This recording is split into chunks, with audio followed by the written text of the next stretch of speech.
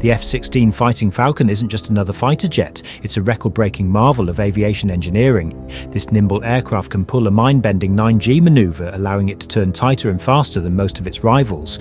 But that's not all. The F 16 can also accelerate from a standstill to a jaw dropping speed of Mach 2, twice the speed of sound, in under a minute. These incredible capabilities have made the F 16 a dominant force in air to air combat with a remarkable combat record of 76 victories and zero losses. But the F 16's prowess isn't limited to the skies. This versatile warrior has also made its mark in popular culture, starring in blockbuster movies and even inspiring a real life aerobatic demonstration team, the USAF Thunderbirds.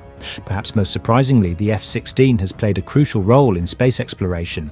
Modified F 16s, known as QF 16s, are used as target drones to test missile systems, and in a groundbreaking experiment, one was even piloted remotely from the ground, paving the way for future unmanned combat aircraft.